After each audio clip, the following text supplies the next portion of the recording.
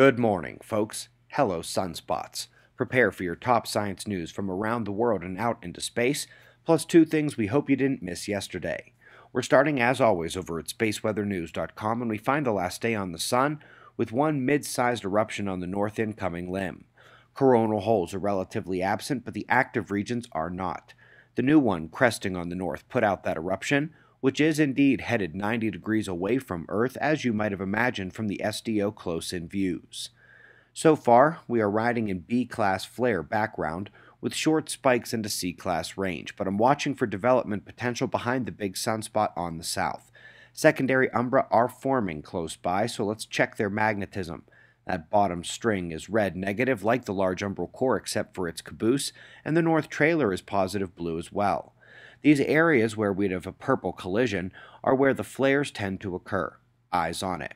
Northern CME producer does look small, but it is still halfway over the limb.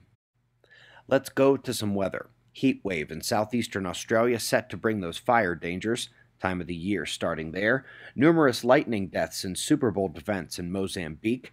And the snowstorm many of you heard about in Morocco should be changing to rain, luckily for the much more used to warm weather nation.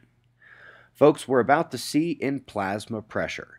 Full after processed and intensity based restitution of certain coronagraph bands delivers the structure of the corona and solar wind emanation in sunspot minimum, maximum, and in between.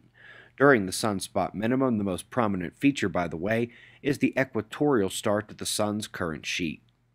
Sticking with the sun, they find that the sharp decline experienced four years into solar cycle 24 is less likely to happen this cycle. They notice it as a small piece of the larger sunspot cycle puzzle, but the alternative hemispheric effect seemed to keep the odd cycles peaked a bit longer. Jumping out to the moon, but only sort of. I don't suppose observers have heard of the moon holding eons of evidence of astrophysical disaster. These four want a mission expressly to go looking for it. Me too, but good luck. Folks, this is ESAIL's premier data release. Day one of ship tracking. Obviously, in a single observing run, they get points rather than lines across the map, but still, those points seem to draw out the shipping lanes anyway. This is very high detail satellite work here. Folks, you may or may not have seen that we posted a video last night. The title may be a bit of a trap. Oh, I share what we're grateful for, all right, but that's not really all that happens in that video. Check it out. Moving on to the two top stories, which brings us to one of the many topics from last night's video. And to piggyback on the recent discovery of Andromeda's plasma halo touching our Milky Ways, they are finding that the dust needs to be extended in M31 and M33. The galaxies are much larger and more complex systems than the visible stars plus an imaginary dark matter halo. Next, we go to climate, and it's the final big analysis, review, and confirmation of what probably is the biggest climate science takeaway of 2020. The highest climate sensitivity models are completely unrealistic, specifically RCP 8.5. This was the one Nature pegged as being horrendously out of kilter with paleoclimate models, and which other publications pegged as being subject to rampant CO2 oversensitivity bias.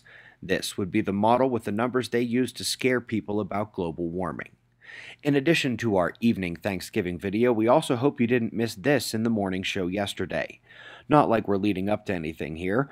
Design a campground for the observers. Survival themed, communication and collaboration focused. You decide. All the details for the instructions are on that page, and the deadline is end of the month mountain time.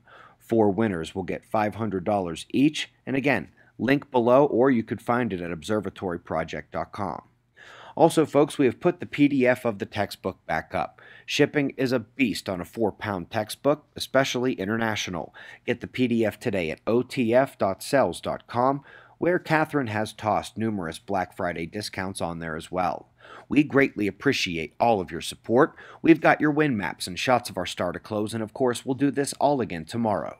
Right here, but right now at 5 a.m. in the new Valley of the Sun. Eyes open, no fear be safe, everyone.